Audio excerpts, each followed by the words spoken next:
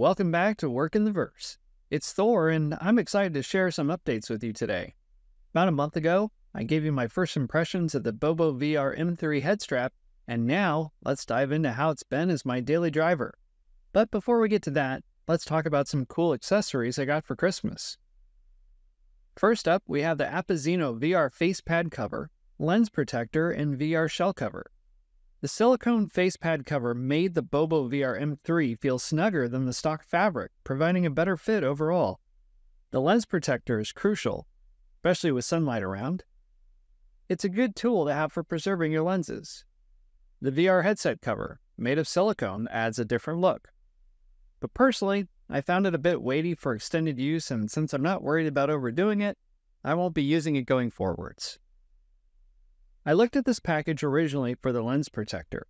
I have a couple of spots in my house and depending on the time of year can get a healthy dose of sunshine. I don't want to expose the lenses to any length of sunlight, so for me, this is a must-have. I still think the suggestion of using the cardboard cover that came with the Quest 3 headset is doable, but with the new facepad cover, it would catch sometimes, and I'm sure sooner than later it wouldn't hold up. Are there any accessories that are must-haves for you? Any that you would tell others not to bother with? Let us know in the comments. Next, the Lens Pen VR headset lens cleaning pen. The retractable brush works great, and the cleaning pad works wonders to remove smudges, even on my Reloptix prescription lenses. I don't use it every day, but cleaning lenses sure has gotten easier because of this. Last item in this roundup before I get back to the Bobo VR M3 is the AMVR upgraded controller grip covers. One of the things I miss about the Quest 2 controllers is the heft to them. The Quest 3 controllers are good, but it was surprising how much I missed the weight in my hands. The knuckle straps and silicone add weight back to the controllers and feels quite good. I have a lot more confidence now, and an added bonus with these grips is that they were designed with the Quest 3 in mind and not simply a rush and get this out because a new headset launched. There are five infrared sensors that are located in the controllers, and with these grips, not one is covered. As you can see here, this is where the sensors are located. I know this because I was able to see them in the Quest 2 headset, which shows you not only these sensors, but even lasers coming from robotic vacuum cleaners and the like. Now, let's talk about my use of the Bobo VR M3 Pro head strap. After a month of use, it's safe to say I prefer it over the Quest 2 version. I'm glad I didn't get the M2 conversion kit, as I have the first version, and Bobo has had several iterations since then. One of the most frequent comments that I saw on YouTube channels was the noisy battery. It seems that this is true for many of the first head straps that came out, including an up to 8,000 amperage. It seems that the 10,000 batteries haven't been an issue.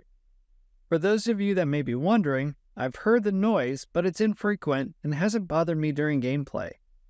I have a hunch that the frequency level may be similar to the audio question of 2018. What do you hear, Yanny or Laurel? Do you hear Yanny? Laurel. Laurel. Or Laurel? Laurel. Laurel. Do I think the M3 is the end all be all in head straps? Well, that's subjective as it depends on personal preference. If you're into more intense gaming, like fitness or fast paced shooters, it might not be the best fit. Quick adjustments might be a bit tricky too.